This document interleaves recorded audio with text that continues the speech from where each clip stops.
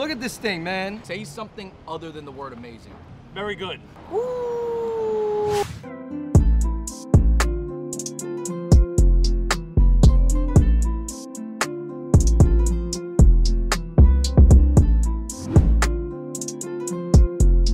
What's going on, everybody? Today's North Carolina barbecue episode of the Fung Bros Food is brought to you by Puma and its new RS Dreamer basketball shoes, aka J. Cole's signature basketball shoes. As you guys may or may not know, J. Cole is from North Carolina, hence eating North Carolina barbecue. All right, so this RS Dreamer Low is actually the full-on high-performance basketball version of the RS Silhouette, and it has a suede upper, it has pro foam midsole, it has high abrasion rubber outsole, so that's great for indoor and outdoor basketball. And one thing that I personally like is this lace that goes around the shoe, so that when you tighten the laces, it tightens the entire shoe around you. Honestly, this is one of the best looking basketball shoes to come out in a very long time. You guys know Puma has been making a lot of noise lately. You've got LaMelo Ball, you've got Kyle Kuzma, J. Cole, so many other players in the NBA wearing Puma right now. And I love everything about this shoe. I think that J. Cole's main mission is just to show people that you can achieve your dreams if you work hard, you focus, and he's trying to do it in a cool way to let everybody know, man,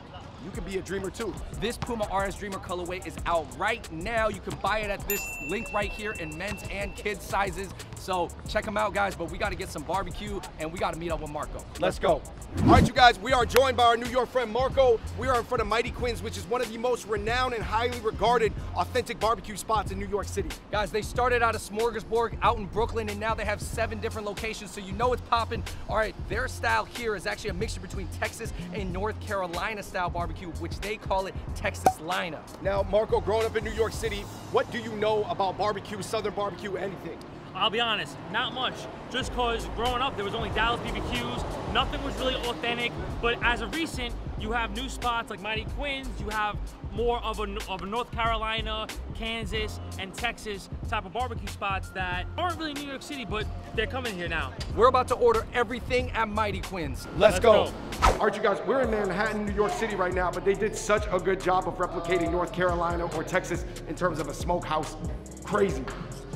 We're here, uh, we have everything here at Mighty Quinn's. We have the entire menu. We spent $150 plus tip, okay? I have all the sides, we have all the drinks. There are four major styles of barbecue in America.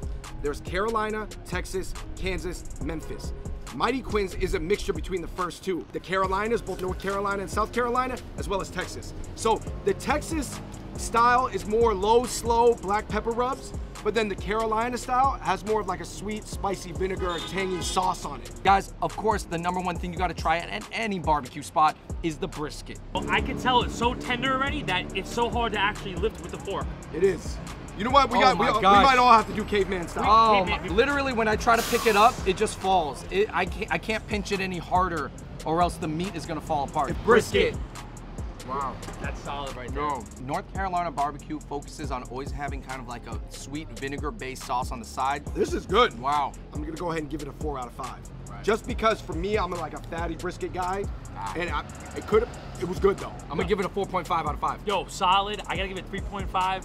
3.5 out of 5, just cause dry rub isn't my thing. I love a lot of sauce on it. Next up, one of their most signature items is the Brontosaurus rib. This is a beef rib. Trust me, pork ribs, they don't get this big. Look at this thing, man. Guys, that's when you know that it's tender because I can cut it with a plastic knife.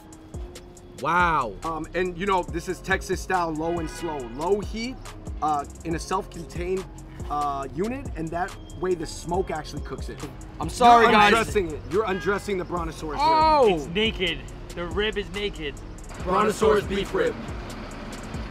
Oh my gosh! Bro.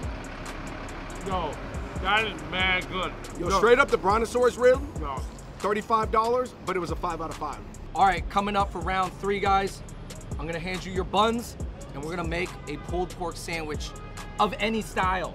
So here you have the pulled pork right here. Here you have the burnt ends, which is actually beef brisket burnt ends mixed with sauce. We have fries, we have pork ribs, we have a beef brisket sausage here. For me, I'm gonna go here. Here we go. We saucing up the pulled pork Wow, right now. I'm not mad at you. Yo, I got a little you. ranch. I'm going Oh. a whacked out pulled pork sandwich. You're gonna see why. I'll pour some ranch on mine. I, Yeah. I might like that.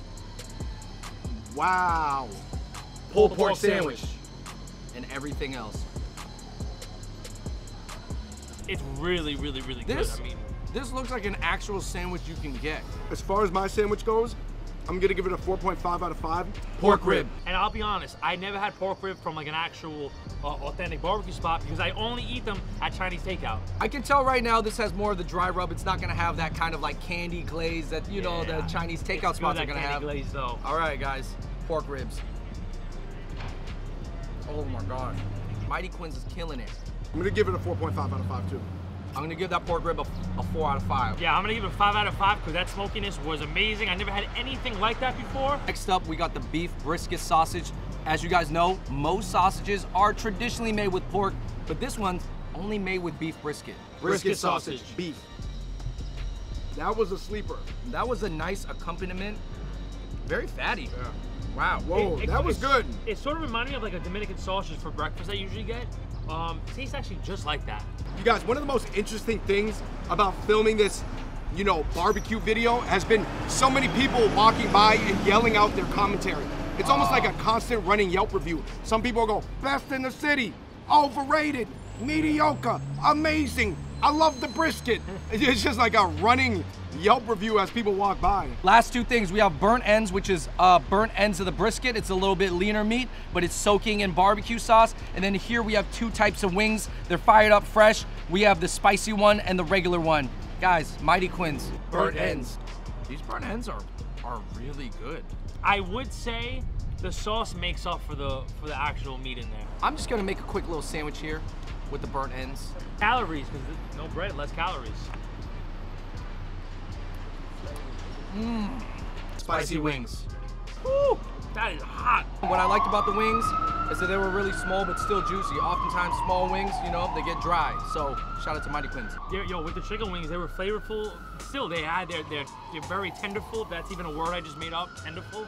All right, guys, as for sides, we have baked beans, we got the sweet potato pudding, I believe, and then you have Brussels sprouts and you have broccoli salad. Barbecue sides. Five out of five on the sweet honey walnut sweet potato bread mashup. You're gonna love it, David.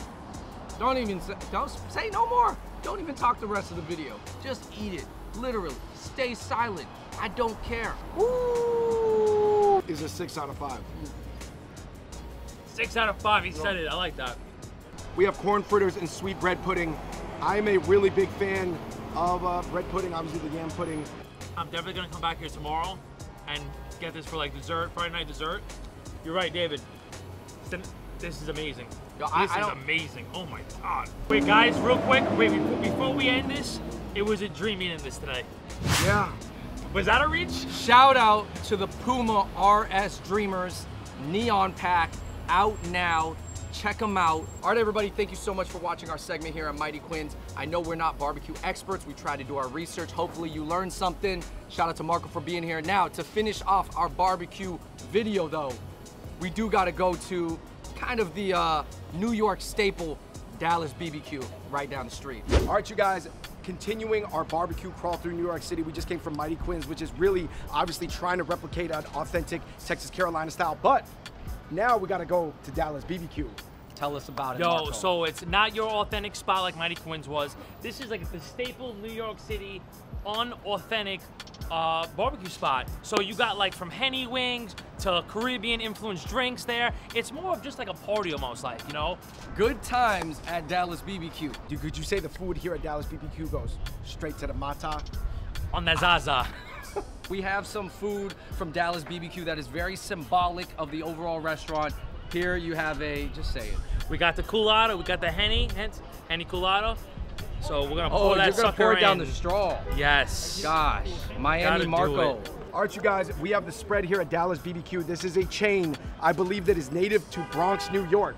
So this is where that was where the first Dallas BBQ was, and now I believe they have uh, eight or nine all around the area. Hey guys, like we said, it's not supposed to be your uh, traditional Southern barbecue. Obviously, you can see we have the pulled pork sandwich, brisket, and pulled pork with yellow rice here. Of course, you know, with the Caribbean influence here. We have uh, a set of baby back ribs, cornbread fries, and then you have your, your Hennessy wings right there. The best, the best. We're gonna we're gonna have fun, guys. We're gonna have Those fun with are this. strip club wings.